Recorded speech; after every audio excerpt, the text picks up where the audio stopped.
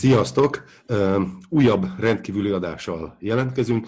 A, ennek a rendkívüli adásnak két apropója van, így most, amiről tudunk. Aztán közben lehet, hogy egyébként evés közben jön meg az étvágy, és mást is szóba fogunk ejteni, de alapvetően két témát szeretnénk itt mi feldolgozni.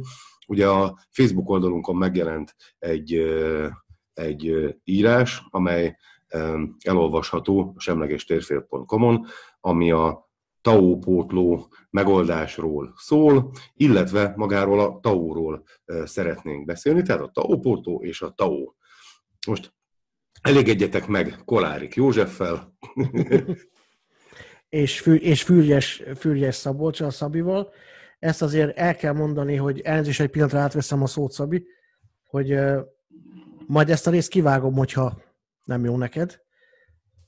Tehát, hogy átveszem a szót azzal, hogy kaptunk üzeneteket te a, a TAO-val kapcsolatban, hogy miért foglalkozunk vele, úgy sem értünk hozzá, és nem látunk bele. Most el kell mondanom, hogy most nem mondhatjuk meg, de a Szabi az egyik nagy kereskedelmi bank igen magas beosztású tisztviselője, akinek szakterülete a TAO. Tehát ennyit, ennyit talán elárulhatok, hogy ugye Szabolcs, ezt, ezt azért el lehet mondani. Ezt el lehet mondani. Tehát ezt, ezt, ezt el lehet mondani, tehát nem egy, nem két TAO pályázatot, illetve nyomtatványokat látott, ezeknek a, ezeknek a, a feltételrendszerére abszolút tisztában van, ezt azért kell elmondani, mert nem szeretnénk a 150. olyan üzenetet megkapni, hogy nem értetek hozzá, nem látjátok, nem tudjátok, de pontosan tudjuk, és ezért beszélünk róla, úgyhogy visszaadtam a szót a Szabinak. Hát igen, azt hozzá, ahhoz hozzá tartozik, hogy a, a jelenlegi pozíciómban ezzel egyébként körülbelül egy fél éve nem foglalkozom, de ez nem változtat semmit a tényeken. Egy fél év alatt nem történtek olyan változások a feltételrendszerben, amelyek miatt akár a tudás ne lenne naprakésznek tekinthető. Most kezdjük el a legelején, hogy mit jelent ez a TAU. Ugye a TAU a társasági adó egy része ugye felajánlható sport, tehát kifejezetten a látványsport támogatására. Ez azt jelenti, hogy az adózó nem az adózó vállalkozás, nem a központi költségvetésbe fizeti be a, ezt az adót, hanem valamely TAO felhasználásra jogosult látványsportot űző klubnak ajánlja ezt föl. Ez az egyik oldala.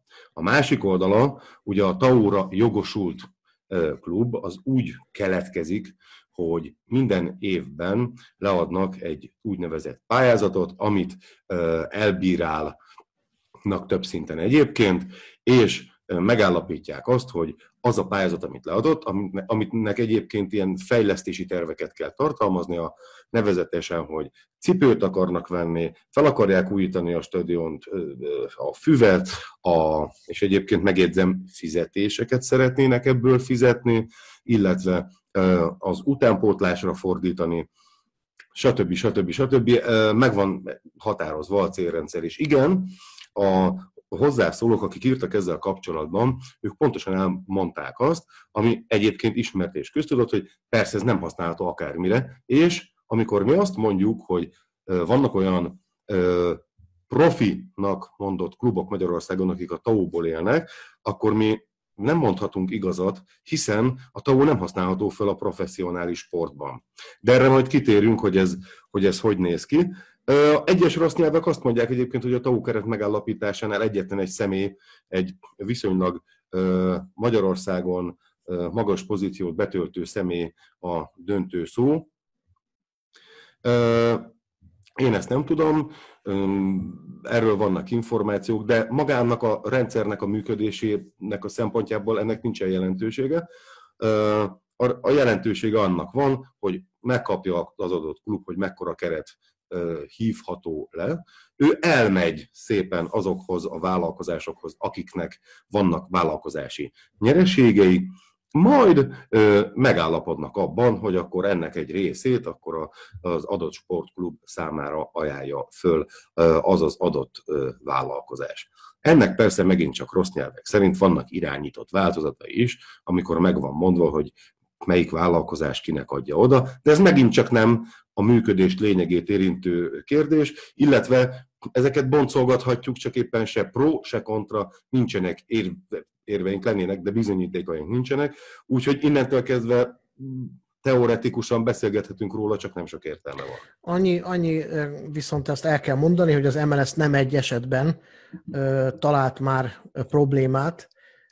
Szintén nem, most nem fogunk klubot mondani, itt az a lényeg, hogy nekünk nem a tau van a gondunk, ezt kellene, hogy megértse mindenki, aki esetleg nem szimpatizál velünk. A TAU egy baromi jó elgondolás lett volna, ha abban a formában megmarad, ahogy azt elképzelték, hanem azzal van, azzal van problémánk, hogy ez a pénzmennyiség, ez úgy került elköltésre egy majdnem tíz év alatt, hogy abból szakmai előrelépés nem történt meg. Tehát nem a lélegeztetőgépben gondolkodunk mi sem, ez most elég hülye példa volt erre, de attól függetlenül azt látjuk, hogy amit pénzért meg lehetett vásárolni, sőt annak már az ötszörösét is elköltötték, az infrastruktúrális fejlesztésekre, de magában a szakmai előrelépése nem. Mondok egy példát a visszaélésre, ami, amiért kifejezetten büntetett az MLS, például 800 ezer forintért voltak bejelentve a gyepet gondozó szakmunkások vagy segédmunkások egy első osztályú klubnál, és rájuk vették föl a, ugye a támogatást, mert az ifi csapatnak a pályáját gondozták. Tehát, hogyha valakinek a kezelésében van egy... Tehát Meg egy, ez egy, egyébként is egy infrastruktúrális folyó kiadásnak igen. minősül, hogyha úgy nézzük. És, és tehát ebből, ebből adódik, tehát konkrét példákat is tudunk mondani, csak Ugye egyértelmű, hogy ezt adásban nem fogom mondani, nem akarunk bíróságra járni, de nem egy, nem két esetben hozott már maga az MLS is ilyen, ilyen döntéseket büntetésre, vagy, vagy visszaélésekre, csak ugye ez, ez, ez nem kerül nyilvánosságra csak akkor, hogyha valamelyik szurkoló mondjuk éppen elkiabál egy hülyeséget, de a visszaéléseket sehol sem hozzák nyilvánosságra, ami az ősaruk lenne. Úgyhogy ez, ez, itt, igen. Ez, ez, ez, itt, ez itt a fő problémája a szurkóknak, hogy, hogy ezzel, tehát velünk mindenképpen kell foglalkozni, de a milliárdokkal való visszaélésre, mert ez, ezzel, ezzel viszont nem. Tehát nem arra költötték a klubok, amire, amire igazán mondjuk a Double Pass is kérte volna őket, hogy, hogy megfelelő szintű szakmai tudást hozzanak be a rendszerbe, és azokat a egyébként kiváló magyar edzőket, mert vannak ilyenek is, azokat tovább, képez, tehát tovább képezzék, és ezzel emeltek volna a színvonalon, kicsit közelítettek volna piaci alapú működéshez, amire ez egyáltalán nem közelített a, a, a magyar labdarúgás, és most, hogy előállt ez a, ez a sajnálatos helyzet, hogy nem lesz majd ugyanolyan a TAO támogatás, tehát lesz TAO, csak nem lesz ugyanolyan, ennek ezzel kapcsolatban egy rendelet született, Igen. tehát tulajdonképpen megmentik az élsportot a, a politikai döntés alapján, de ezt most a Szabolcs fogja elmondani. Hát, hát igen, ugye a, a TAO támogatási rendszernek egy gyenge pontja van, amennyiben nincs nyereség, akkor nincs miből felajánlani ugye a, a, ezt a támogatást a, a sportegyesületeknek. Ugye a támogatást a sportegyesületek pontosan meghatározott feltételek szerint ö, ö, használhatják föl. Megjegyzem, a, ö, gyakorlatilag az ellenőrzése ennek az ilyen szúrópróba-szerű, és hogyha jól emlékszem, ö, de erre nem tennék fel nagy pénzt, azt hiszem, hogy konkrétan a tavalyi évig, amikor, tavaly előttig, amikor az MLS hatáskörében volt az ellenőrzés, nem érte el a 10%-ot a tényleg leellenőrzött TAO beruházásoknak a száma, vagy a aránya. Ugye azért itt látható, hogy, hogy azért itt problémák vannak, aztán nyilván ezt egyébként valamilyen módon egyébként az állam így a, a kezébe vette, azóta nem tudom milyen eredmények vannak, de a lényeg a lényeg, hogy a, ennek a, tényleg az ellenőrzése, a pénz elköltésének az ellenőrzése az nem volt egy, hogy is mondjam, elég masszív dolog. Na most, ugye most egy ilyen helyzet van, mint amilyen előáll. Uh, nyilvánvalóan a vállalati nyereségek akkor, amikor a gazdaság leáll, akkor csökkenni fognak. Hát ez ugye ehhez nem kell közgazdásznak lenni, ezt, ezt szerintem mindenki pontosan tudja. Na most, ha egy cég nem nyereséges, akkor a TAO eleve kiesik a képből, akkor ebből ezen az ágon az adott cég nem tud juttatni pénzt a látványsportokra. Most maradjunk abban, hogy a látványsportokban, nem feltétlenül a labdarúgásról beszélünk, csak nyilván. És éppen ezért különadókat, különadók bevezetése mellett döntött a kormány megint. Hát ilyen, ilyen már volt a, a korábbi időszakokban. Szerintem 2010 és 14 vagy 15 között létezett például a bankadó. Most ez újra van, hasonló feltételekkel, de talán egyébként valamivel kisebb a mértéke, mint akkor volt, de a lényeg a lényeg, hogy ennek a bankadónak, fizetentő bankadónak mi az alapja. Az alapja a bankok mérleg főösszege. Most mérleg főösszeg, nem akarok nagyon részletesen belemenni, hogy ez, ez pontosan miből áll össze, mert az, azt hiszem, hogy holnap reggelig tartana ez a, ez a videó. A lényeg a lényeg, hogy mondjuk azt, hogy ez gyakorlatilag egy forgalmi típusú adó. Úgy képzeljétek el, mint az áfát. Ugye az áfánál az a lényeg, hogy áru cserél a gazdát, a végső felhasználó pedig kifizeti a, a, az általános forgalmi adót. E, az mindegy, hogy ezen a terméken bárki nyereséget elért vagy nem, ez az adó mindenképpen befolyik az állami költségvetésbe. A bankok mérlegfőösszege valami hasonló, tehát egy, a bankoknak a forgalma, mondjuk ezt, összesítése alapján egy összeállt érték, ami ha nyereséges a bank, ha nem, ez mindenképpen létezik. 100 forintot kaptam a betétesektől, 100 forintot kiadtam kölcsönbe, akkor nekem itt a mérleg főösszegem 100 vagy 200 forint, attól függ, hogy milyen szabvány szerint számunk, de ez majdnem mindegy. A lényeg a lényeg, hogy nem kell hozzá nyereség, hogy adó ö, alap keletkezzen. Na most, és itt van a lényeg, és itt van a kiskutya elhantolva, hogy ez bizony egy olyan komoly segítség így a kluboknak, ami a gazdasági ciklustól függetleníti azt, hogy egy valamekkora pénz beáramoljon hozzájuk. Józsi, mit szólsz te ehhez? Ugye, mint szurkoló, meg mint hogyha most képzeld el, hogy te klubtulajdonos vagy.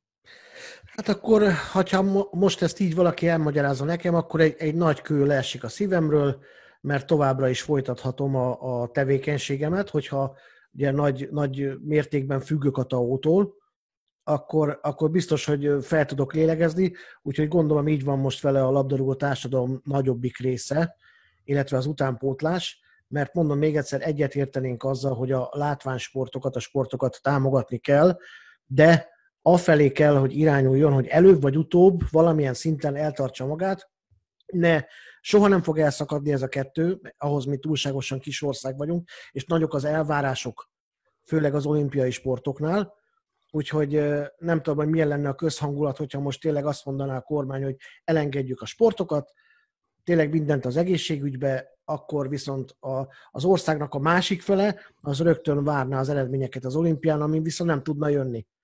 Úgyhogy nagyon nehéz, hmm. nagyon nehéz helyzetben van, és nagyon sokszor kritikusak voltunk. Most én pontosabban kritikus voltam én is a kormányzatnak ezzel a részével, mert egyébként nem politizálom, csak ez a része sajnos beleszól a, a kedvenc időtöltésembe, hogy igenis óriási kockázatot vállalt föl azzal a miniszterelnök, illetve a kormányzat, hogy belement ebbe a vitába, mert tudta, hogy minimum az országnak a fele azonnal a azonnal támadni fogja ezért.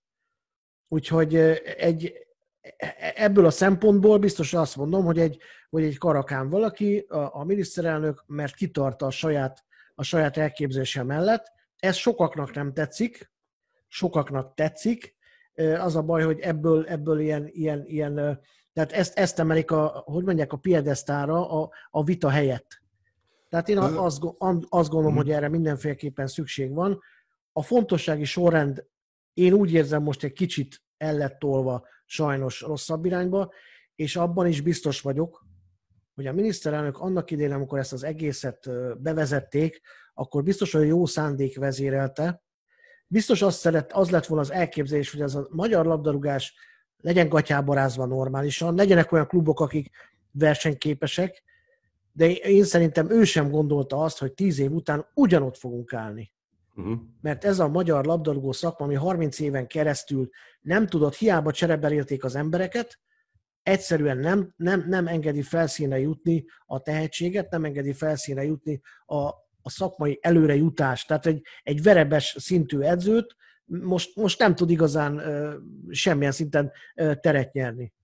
Mert ez, ez a közeg sajnos ez ilyen, és azért tartom furcsának, hogy a, a magyar labdarúgás vezetése egy, bank, egy sikerszakágnak a üzletág vezetője nem látja ezt be, hogy azokkal az emberekkel, akivel 30 évig nem megy, akkor most menni fog azért, mert, mert rendszerbe állítja őket. Sajnos ez továbbra sem megy.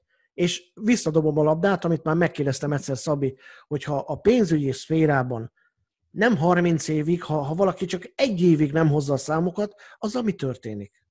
Hát egyébként még ha csak üzletág vezető lenne, tehát egy konkrét bankvezető, méghozzá majd mindjárt rátérünk arra, hogy mekkora az a bank, mert a bankadóval kapcsolatban felmerül majd egy-két kérdés. Hát egyébként nagyon egyszerű a dolog, aki nem hozza a számokat, az repül. Tehát ez, itt igazából a bankszektor az a fajta érzékeny ö, ö, ö, szektor. Ugye ezt nagyon sokan szokták mondani, hogy hát persze, mert ott a, a, a, a, a, a fehér asztalok mellett dől el minden, és akkor majd ott okosba megoldják meg.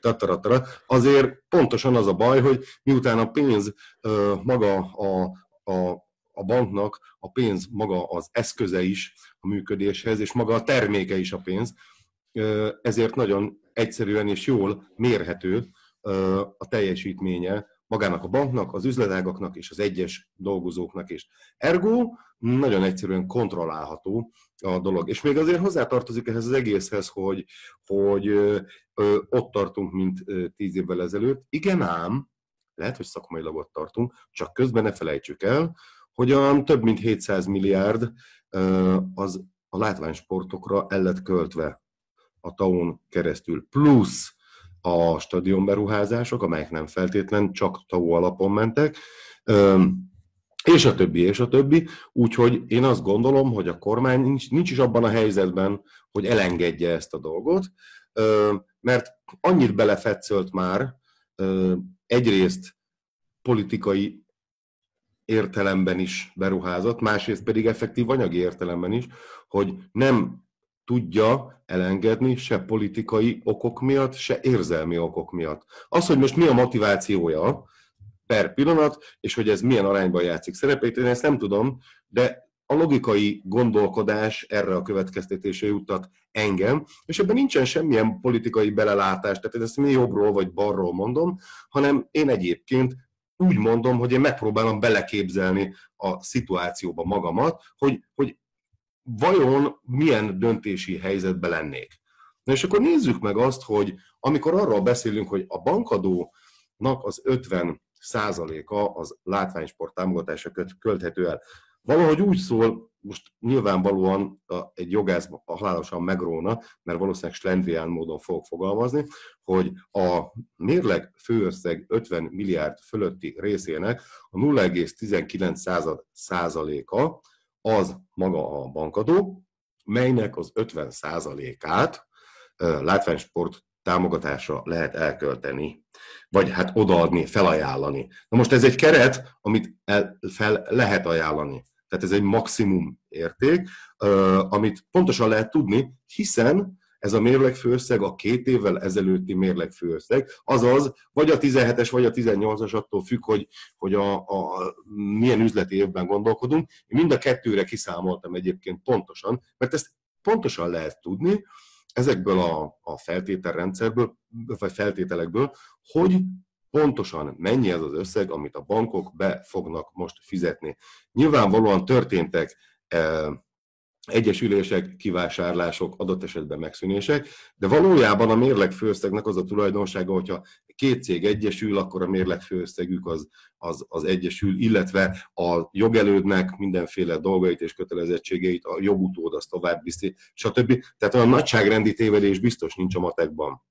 Majd Józsit megkérem, hogy ezt valamilyen módon ezt a táblázatot, amit én most itt puskának fogok használni magam előtt a képernyőn, azt majd valahogy benne lesz. Valamilyen módon kitesszük. Egy... A, a táblázatot, amit most én itt a képernyőn puskának fogok magam előtt használni, ezt majd Józsi kérésemre be fogja vágni a videóba, ti is látni fogjátok.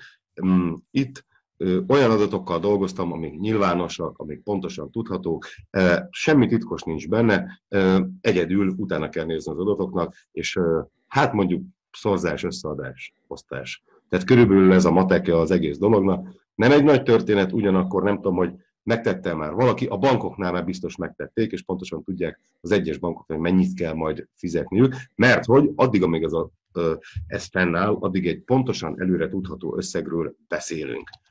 Most én feltüntettem itt azt, hogy 2018-ban és 2017-ben, a 17-et is beleszámoltam a biztonság kedvéért, hogy, hogy azt, arra is megnéztem, hogy mi a helyzet, a mérleg főösszegeket, a mérleg főösszegeit a bankoknak, kiszámoltam azt, hogy ha ebből leveszem a öt, az 50 milliárdot, ugye, ami ö, fölött kell csak megfizetni a 0,19 század, százalékos adót, akkor Összesen egyébként, most kapaszkodjatok meg, 31.608 milliárdtól több egy kicsit ez a mérlegfőösszeg. Úgyhogy ez a 0,19 százalék, ez nagyon alacsonynak hangzik, tehát ez a mérlegfőösszeg a 31 ezer milliárd, gyerekek azért az egy nagyon komoly összeg.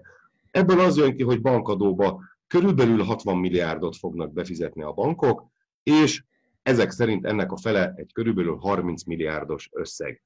Azért azt el kell mondani ezen a fórumon egyből, hogy az OTP méreténél fogva egyébként ennek az adónak kb. 25%-át fizetni meg, de egyébként, ha valaki kíváncsi láthatja ezt a táblázatot akár bankonként, hogy ez körülbelül hogy fog kinézni.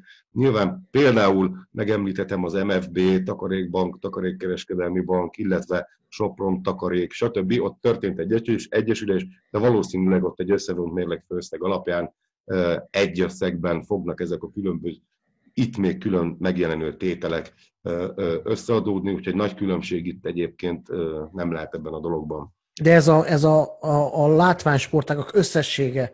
összessége. Tehát magyarul, tehát körülbelül évente a látványsportágokra ebből 30 milliárd forint juthat. Így ja, van. Ez így leegyszerűsítve. Igen. És hogy te klubvezető vagy, vagy helyén, az lennék egyből azt kérdezném meg, és az a, ugye az elsődleges kérdés, hogy akkor, amikor azt hallom, hogy lesz egy ilyen, akkor az nagyon jó. Az első kérdésem, hogy ez összesen mennyi. Kettő, hogy tudok én ehhez hozzáférni. Három, mik a felhasználási feltételek. Az, hogy mennyi ennek a teljes összege, azt itt láthattátok. Az összes többire nem tudunk választ adni, valószínűleg azok további rendeletekben, végrehajtási rendeletek formájában fognak megjelenni, és akkor ezt majd látni lehet. Ha abból indulok ki, hogy ugyanaz a felhasználás módja, mint a, a TAU esetében, mert miért ne, akkor igazából egyszerű dolguk van a kluboknak. De mit jelent ez a látvány sportokra nézve, ez a mondjuk 25 és 30 milliárd közötti összeg. Ugye, Józsi, azt te tudod pontosan, hogy nagyságrendileg mennyi pénz ö, folyt be tau eddig a klubokhoz. Hát egy ilyen 700 milliárd.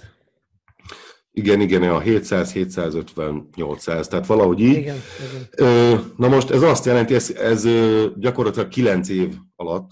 Igen. Tehát, hogyha ezt most így elosztjuk ezt a 700 akárhány milliárdot 9 akkor az azt jelenti, hogy a 80 milliárd évente Ergo, ha a TAO-ból, mert azt tudni kell, hogy a TAO rendszer megmarad, tehát az van továbbra is. Ha a TAO felajánlható TAO, vagy a felajánlott TAO mértéke csökken egy 30 milliárddal, akkor itt van a megoldás.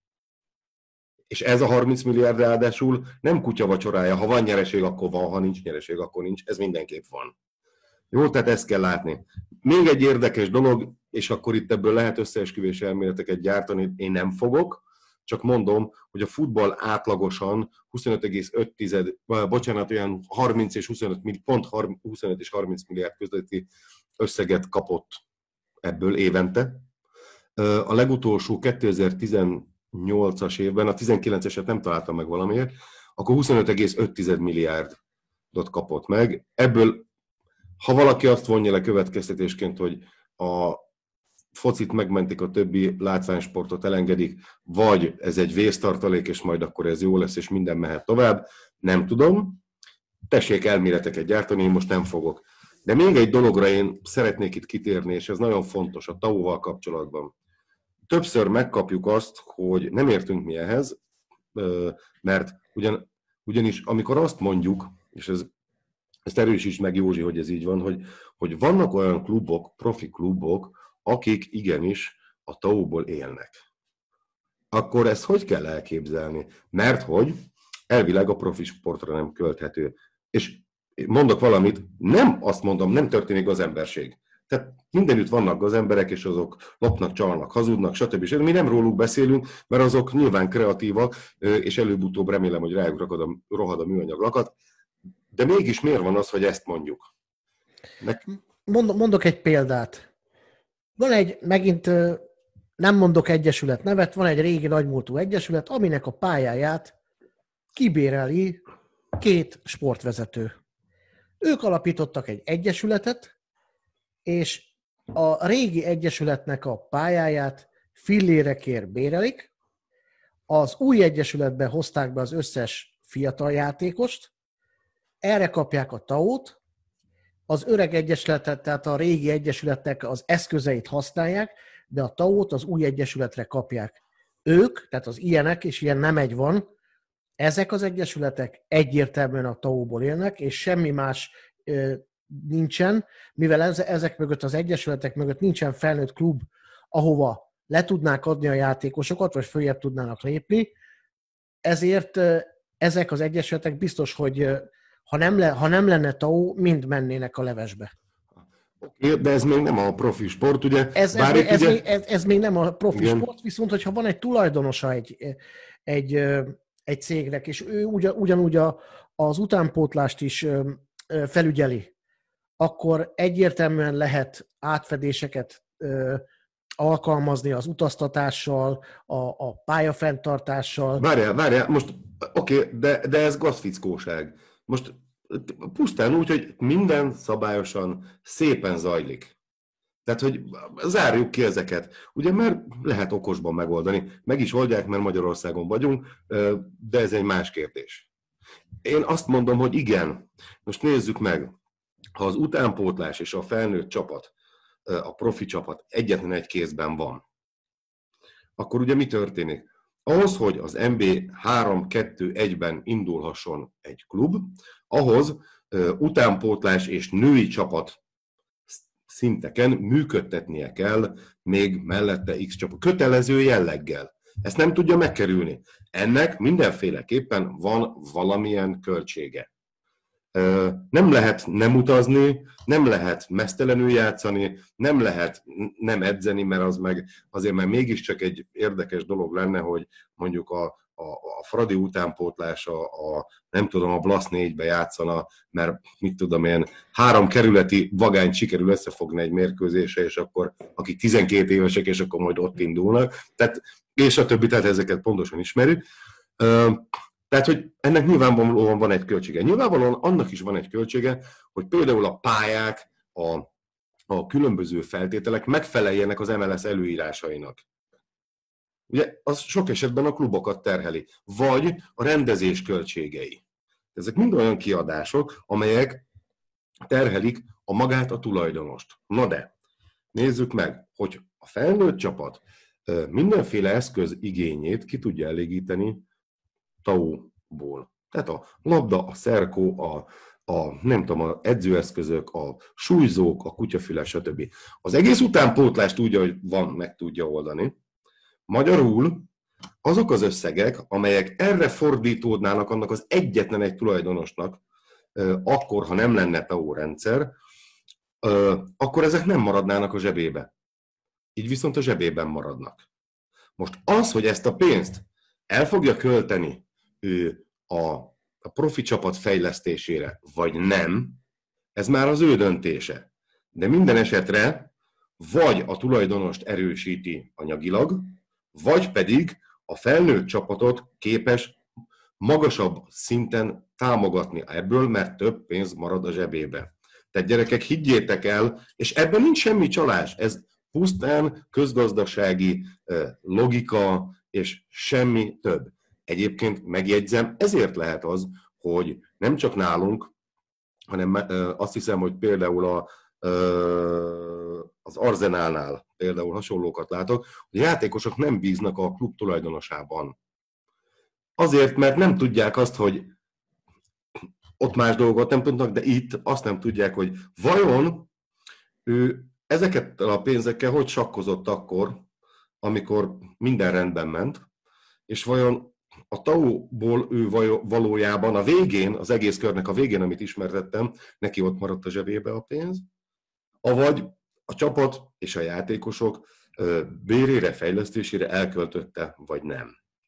Mert hogyha addig a zsebében maradt a pénz, és gyakorlatilag nullán vagy plusszal el tudott működni a klub a tulajdonos szempontjából, akkor azt mondom, hogy a játékosnál felvetődik a kérdés, hogy oké, okay, ha te eddig nyertél rajta, akkor most miért nem teszel bele? Ö, vagy nem tudsz beletenni, vagy nem akarsz? Milyen tulajdonos vagy te, hogy nem teszel bele?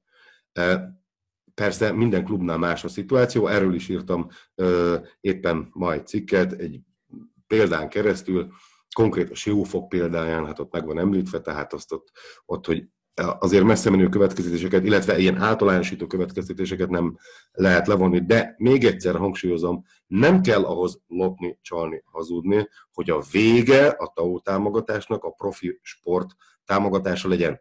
És hozzá kell tennem, ez nem is ördögtől való dolog, hiszen kiktől várjuk mi az eredményeket? A klubcsapatoktól, a felnőtt klubcsapatoktól, illetve a magyar válogatottól. Az utánpótlás nevelésnek is mi a célja, hogy majd a klubokban fiatal magyar játékosok játszanak minél nagyobb százalékban, minél jobbak legyenek. Ugyanez igaz a válogatottra is. Tehát, amikor ezt állítjuk, aki azt mondja, hogy hülyeségeket beszélünk, az valójában nem értem, hogy mit kérdőjelez meg, mert minden oldalról a TAU bizony-bizony a felnőtt sportot támogatja, akárhogy is nézem.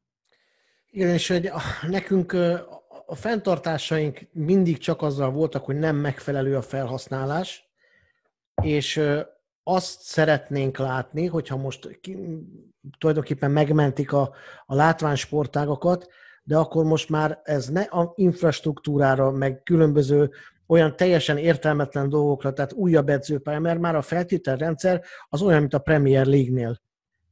Tehát aki futballozni akar, az, az Magyarországon is világsztár tudna lenni. Ha ezen múlna, már világbajnokok lennénk.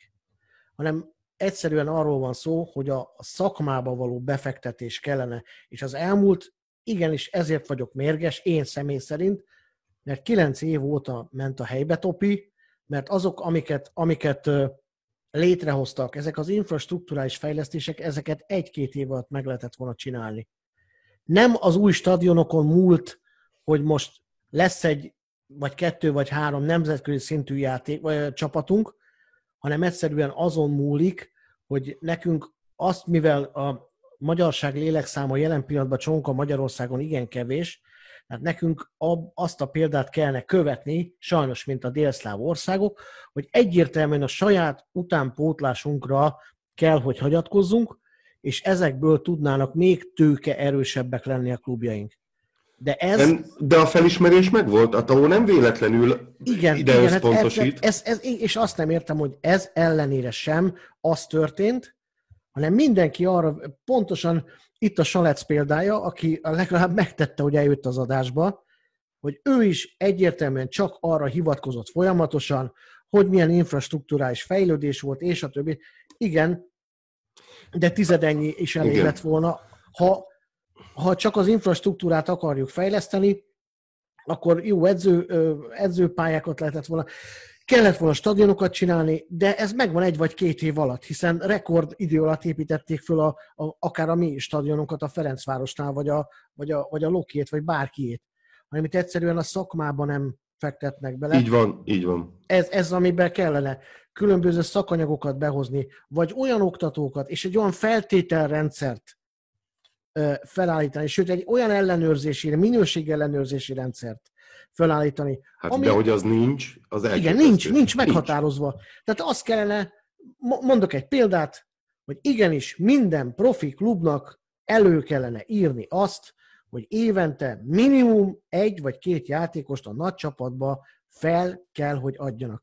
Mert valahol, valahol meg kell szabni a határokat. Azt nem várhatjuk el, hogy megnyerjék a BL-t, mert ez egy egyértelmű. De ez e felé kellene, hogy menjen. Igenis, kell, hogy játszanak a fiatalok, olyan szintűnek kell lenni az utánpótlásnak, hogy ne, legyen, ne, ne lógjon ki a csapatból. Hogy egyértelmű, egyértelmű legyen. És ha be kell áldozni erre nemzetközi szereplést egy-két évig, akkor ne az legyen, hogy tíz külföldivel fut ki egy magyar csapat. Hát igen, most azért én azt látom, hogy az, hogy megtörténtek ezek a beruházások, ez alapvetően jó. Ez, ez, az, hogy most, baj. Azt, hogy most kevesebb, vagy több, vagy milyen földrajzi eloszlással, meg ilyesmi, lehet rajta vitatkozni, de valójában olyan penetrációval vannak az országban ma már mindenütt kiváló minőségű pályák, stb. stb., hogy igazából, igazából ez majdnem mindegy is, hogy, hogy, hogy az utánpótlásban majd ebből a szempontból, hogy hova megy gyere. Abból a szempontból viszont már nem, hogy hol milyen szakmai munka folyik, és én e, ezért gondolom azt, hogy mintha azt gondolták volna annak idején, hogy, hogy igenis a magyar labdarúgásban megvan a tudás, csak egy dolog hiányzik, a pénz. Most kiderült, a pénz az úgy hiányzik, hogy egyrészt infrastruktúra, másrészt fizetések, megélhetés, stb. És most kiderült, hogy ha belerakták a pénzt és nincs eredmény, akkor valószínűleg nincsen benne, és remélem, hogy ezt úgy kell mondom, hogy még nincs benne az a szellemi tőke, aminek benne kellene lennie, és lehet, hogy az edző, amit ugye Salec is említett, hogy de hát azért most meg közel nem azok az edzők vannak, meg stb. Oké, én ezt aláírom. Lehet, hogy az edzői társadalomnak a felépítése az még egy hosszadalmasabb folyamat, mint mondjuk egy, egy meglévő élő futballkultúrán alapuló edzői társadalomban felépülő utánpótlásnak a, a felépítése. Nem mondom, tehát azért mondom, hogy még, de kiderült, hogy a pénz az szükséges, de önmagában nem elégséges feltétel. Innentől kezdve viszont az is rendben van, és nagyon oké, hogy a, a, a, a kormány most hozott olyan intézkedéseket, amivel valószínűleg a gazdálkodást kiegyensúlyozottabbá tudja tenni a kluboknál. Nem fognak függni gazdasági ciklusoktól annyira, mint egy pusztán a taóra alapozva.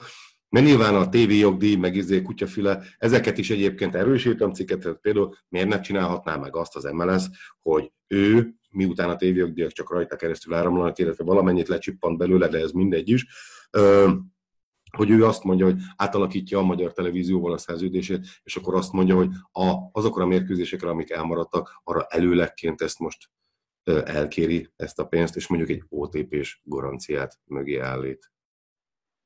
És ha mégsem történne meg valamilyen úton, módon, hogy ezeket a mérkőzéseket lejátszák, akkor mi van, hogyha ennek biztosítására azt mondják, hogy hát akkor megint beindítjuk a ligakupát mondjuk, és ugyanannyi mérkőzést le tudtak közvetíteni a tévébe, mint hogyha nem maradt volna el az MB1, és akkor ez gyakorlatilag megint csak ilyen, ilyen tizen sok milliárdos tételt jelentene a klubok szám. Tehát, hogy van itt nagyon sok, vagy volna itt nagyon sok lehetőség, amelyeken nem tudom, hogy gondolkodnak vagy nem, de minden esetre nyilvánosan nem jelentek meg információk erről.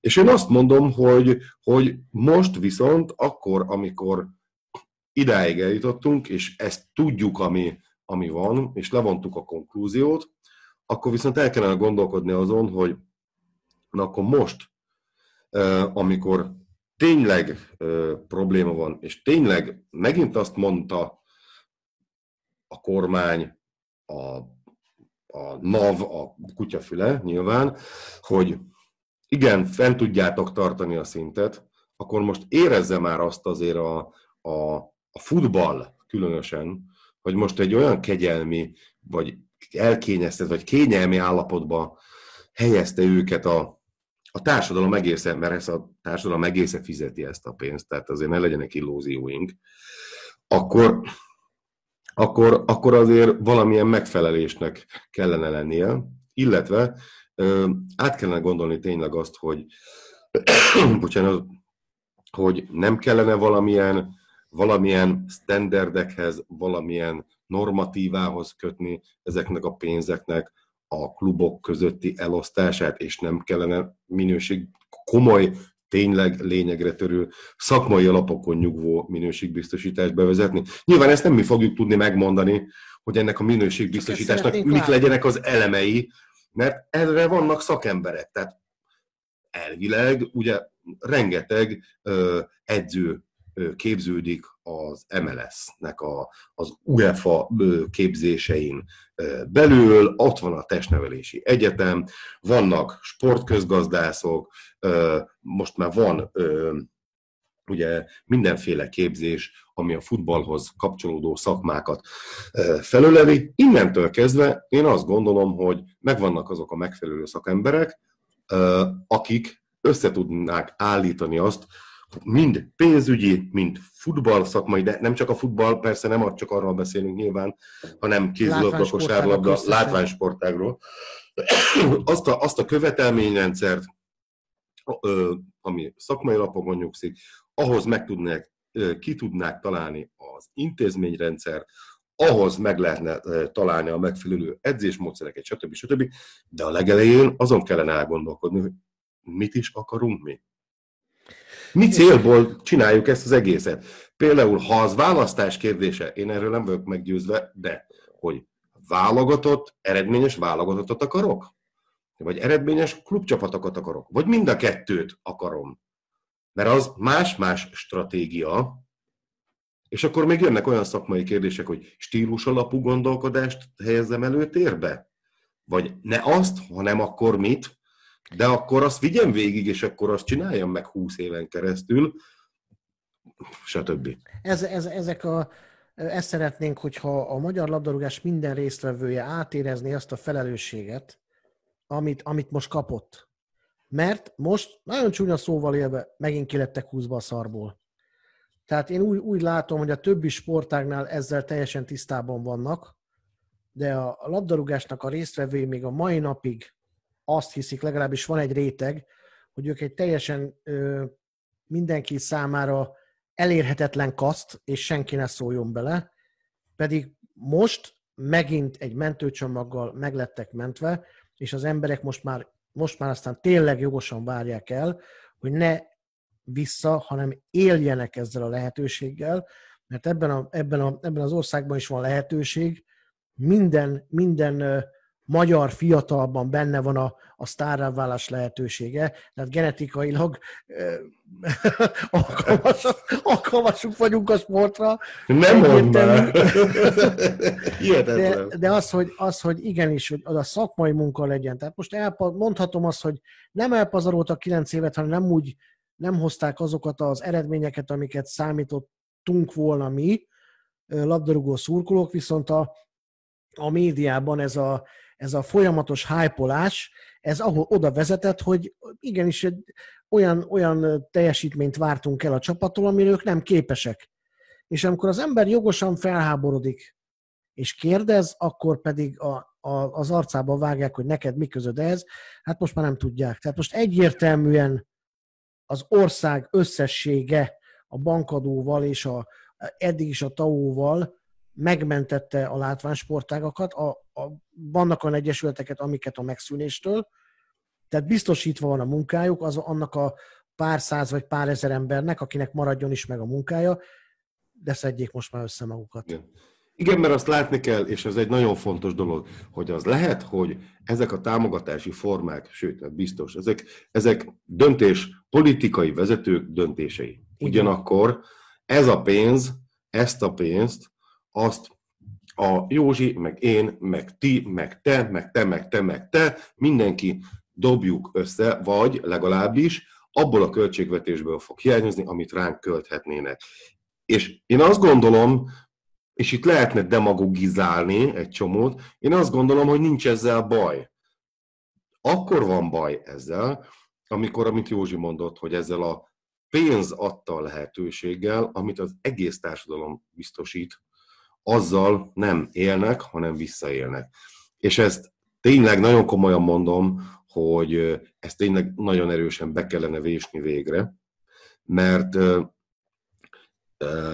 én úgy látom most ezt a, ezt a segítséget, amit most megkapott, megkaptak a látványsportok, hogy én, ha én döntenék ebbe a dologba. Én azt mondanám, hogy tudjátok, mint nagyon sokat kockáztattam, nagyon sokat fektettem be, nem én, hanem az maga az ország tehát, ebbe az egész dologba. És hogyha nem látok eredményt, akkor nekem ez nem tetszik, de még most utoljára. És erről beszéltünk is egymás között, hogy ez egy elég ilyen gambler dolog. Igen. Van, van, egy, van egy banki fogalom, amikor már annyi kiadásod volt, meg annyit buktál, hogy akkor egy, egy pénzintézet nem azt csinálja, mint egy szerencsejátékos, hogy ráteszek még hát, ha majd reggelig visszanyerem a pénzemet, hanem van egy határ, amikor már annyit bukott, hogy azt mondta, hogy akkor többet, többet nem kockáztatok, és húzok egy vonalat, és azt mondom, hogy nincs tovább. Én úgy gondolom, hogy ez a mentőcsomag, ez most tényleg az utolsó utáni dolog, mert tényleg azt kell látni, hogy a, most mindegy, hogy kinek mi a véleménye a kormányzatról, ez most megint egy óriási kockázatot, politikai kockázatot vállaltak föl, azzal, hogy vitába szállnak a, a sportok megmentéséért, és át kell, hogy érezzék ezt a, a, a labdarúgás vezetői, meg akik a, a szereplői, az utolsó pályaedzőig, hogy, hogy ez most, most még nagyobb felelősség van rajtuk, mert ennek a pénznek most demagóg leszek, máshol is meg lenne a helye, de ér-e annyit a magyar nemzeti büszkeség, sportbüszkeség, hogyha ezzel nem élnek? Mert hogyha, mert hogyha élnek vele, úgy megint demagóg leszek, mint egy vízilabda csapat, vagy egy vívó, vagy egy kézilabdás, akik, akik tényleg Final Four-t játszanak, akik olimpiai világbajnokok, é, ő nekik azt mondom, szintén demagógként, hogy egyértelműen jár a tisztelet, jár a támogatás, még sokkal több is, de hogy a legnépszerűbb sportágnak a képviselői igenis vegyék észre, hogy ők is tagjai ennek a nemzetnek, semmivel nem kiválasztottabbak, abból kiválasztottabbak, hogy szerencséjük van, hogy a, hogy a szerelmüket csinálhatják, a, a, a kedvenc időtöltésüket, időtöltésükkel pénzt tudnak keresni, és nem sajnálja tőlük senki ezt a lehetőséget, de akkor, akkor tessék ezzel élni. Hát így van, és itt nem a játékosokról van szó Elsősorban nem róluk.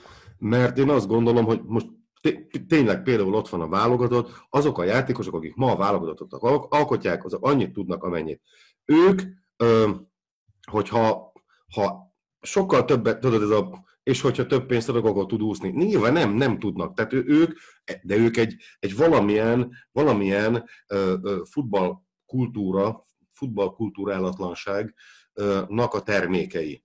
Én azokra gondolok, akik valójában a termék felelősök. Én azokra gondolok, azoknak kell a leginkább felismerni ezt, utánpótlás szinten pedig különösen, különösen nagyon fontos. És hát ha minden igaz és tényleg úgy van, ezek az edzők már nem azok a öreg vájárok, akik kettőkor kijönnek a bányából, átöltöznek és levezényelnek egy meccset, hanem egyre profi szakemberek, na akkor kérem szépen, akkor lássuk az eredményt, és tényleg azok a gyerekek, azok, azok tényleg tanuljanak meg nagybetűvel futballozni, és akkor ezt a lábilabdát felejtsük el végre. És hogyha még így a végére érve én azt mondom, hogy, hogy én, és ezt nem, megint csak nem politikai jellegű megnyilvánulás, én kifejezetten örülök ennek a fajta megoldásnak, még akkor is, hogyha egyébként például engem, az, hogy megadóztatják a bankokat, engem negatívan érint. De én azt gondolom, hogy képes vagyok én arra, a, az én bankommal, az én bank, tehát nem a tulajdonom, az én munkáltatómmal együtt arra, hogy igenis ezt a pénzt ö, ö, ö, kitermeljük, megjegyzem, az ügyfelek kitermeljék számunkra, az egész társadalom, és akkor ez ennek meg lesz majd az eredménye és a foganatja, és látunk még szép eredményeket. Én azzal zárnám, hogy szeretek történelmi példákat hozni, amikor egy római hadvezér egy győztes háború után visszatért, és diadal menetet kapott, akkor a kocsi mögöttem mindig volt egy ember, aki tartotta a diadalívet, és a tömeg éjjelzések közben mindig a fülébe sukta, hogy te is csak egy ember vagy. ezt minden labdarúgás részvevője tartsa az agyában, szerintem. Így van, így van, és egyébként ö, embernek lenni, az komoly feladat. Azt azért ne felejtsük el. Jó, hát ennyi, ennyik voltunk mára. Remélem, hogy tudtunk új információkkal szolgálni, akár még szakmabelieknek is, legalábbis abban, abban a szempontból mindenképpen, hogy, hogy mennyi az annyi. Köszönjük szépen a figyelmet, találkozunk vasárnap már a Youtube-on az élő adásban. Sziasztok! Sziasztok!